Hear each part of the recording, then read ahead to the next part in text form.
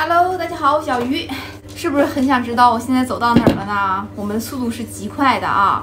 我小圆呢，我们俩现在是在四川省的内江市啊。今天这一天呢，在路上呢就没有拍视频，为什么？因为我们俩在着急赶路啊。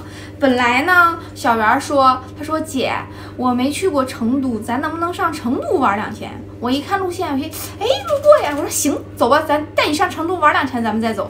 结果我一查，到成都之后，我们可能就哪儿都去不了了，然后也不能去。我们都已经走上这条路了，你你们知道吗？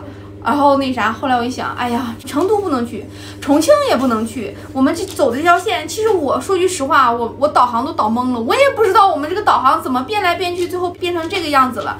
又经过成都，又经过重庆的，就是按我们两个开车的。距离来说，就是到重庆或者到成都都是应该我们下高速休息的这个距离。我这一看不行啊，然后我们就曲线了一下啊，曲线救了下国。然后我我跟小圆说，小圆啊，咱不能走啊，重庆和成都都去不了呀。呃，咱们不能直奔丽江了，直奔丽江必须经过这两个地方啊。说句实话啊，我也不知道导航怎么导的，导着导着就是不是从成都走，就是从这个重庆走，然后能到这个丽江。后来我说小袁不行吧，咱俩去昆明吧。然后我一导航，哎，去昆明有一条从重庆和成都中间的一条高速，哪儿也不挨。然后正好在他俩之间也是该休息的位置，有一个城市叫内江，四川省的内江市啊，是安安全全的。所以说今天晚上我们俩。今天我们一路狂奔，开车开到了这个内江。明天呢，我们就可以到这个昆明了。明天就能到昆明了。然后我们是打算在昆明待两天啊。其实说实话，这一路上走确实是挺辛苦的，而且我们这一路也没好好吃饭，也没好好干啥的。就是我说实 说句实话啊，带着小圆出来，我觉得挺对不起小圆的。我有点心疼这个小妹妹啊，第一次出来就跟我遭这个罪。你们看我造的，哎，头发油的，真是啊，什么都顾不上了，就一直在赶路，一直在高速上，也不敢下来。然后紧赶慢赶的，今天终于找到了一个安全的地方，我们可以下高速了，我们可以好好的洗洗涮涮了啊，明天就能到昆明了。然后我们是已经出来，今天是第四天了啊。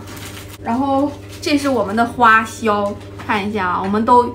都记上了，这是我们的花销啊！我刚才大概的算了一下，我们一共花了三千多了。而且你们看，我们这个花销里头，我们这个花销里面就吃过一顿饭，花了十七块钱，剩下都没吃过饭，全是路费、过道费和这个住宿。我的个娘家嘞，太费钱了！看到了吗？这个就是我们这几天的花销啊，走了四天。然后走到内江，我们只能曲线一下了，直到丽江走不了了。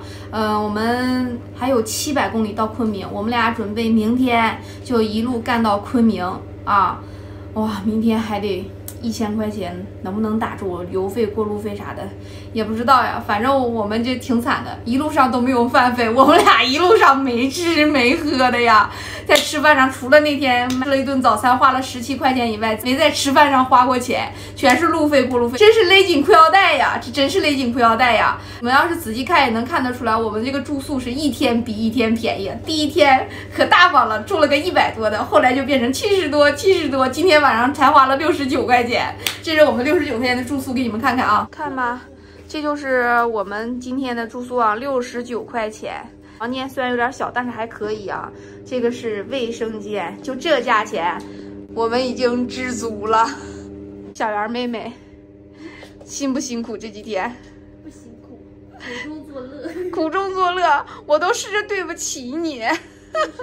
跟我出来吃苦了，再忍忍，再忍忍，等着瞅着我的车之后就好了。等咱们到了云南境内，咱们就好了。我带你吃香喝辣。不感兴趣，我主要想玩，我想去看风景。可以，可以。